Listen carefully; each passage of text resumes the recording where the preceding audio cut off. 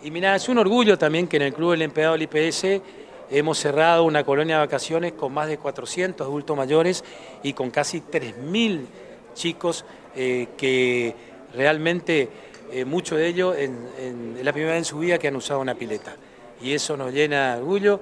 Esto también fue articular eh, con el, programa de Acción Solidario, con el Ministerio de Salud, con la Subsecretaría de, Acción Civil, de, este, eh, con la Cámara de Diputados, que, también que, eh, fuimos todos eh, articulando en el Estado para que tengan una temporada buena. Por suerte hubo buen tiempo, se usó muchísimo y probablemente hagamos el cierre el jueves o viernes de la semana próxima, con, con una buena cantidad de números.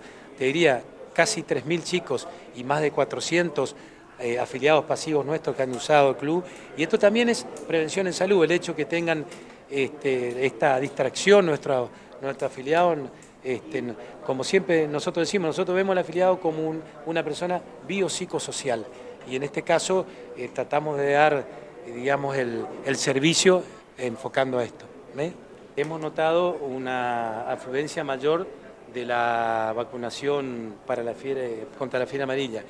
Es importantísimo que el afiliado sepa que lo ideal es mínimo 15, 20 días antes del viaje para lograr inmunidad, que tiene sus grupos, por ejemplo, no está indicado en embarazada, en lactancia, en enfermedades crónicas, eh, eh, tiene su grupo, digamos, de, vacunación.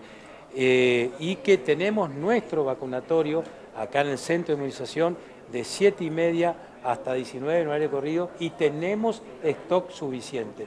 Entonces, aquellos que tienen planeado viajar de acá a 15 días, que por favor vengan a nuestro vacunatorio eh, y, se, y se vacunen rápidamente, porque hemos tenido noticias que hubo muerte de monos en el sur de Brasil, que todavía está en diagnóstico sur de Brasil, entonces eh, yo diría que la mejor prevención en este caso. Y también no solo estamos vacunando, sino estamos otorgando el carnet internacional de vacunación. Si ellos están en el certificado, porque a veces en lugares de Brasil le piden el carnet internacional, le estamos entregando también eso. O sea que venga el afiliado y concurra para estas dos cosas. ¿A partir de esta alerta, digamos, se dio en estos días mayor demanda en cuanto a Sí, se dio mayor demanda, pero por la estadística nosotros tenemos, tenemos más de 3.000 ya este, vacunaciones de fiebre amarilla, pero nuestra población objetivo debe ser mucho mayor a esto. Entonces, por más que haya aumentado la demanda, yo creo que no es suficiente por la cantidad de gente que debe estar programando viajar. ¿La vacuna es una única dosis? Una única dosis dura toda la vida. Según la OMS, la última informe de la OMS dura toda la vida. ¿Rango de edades?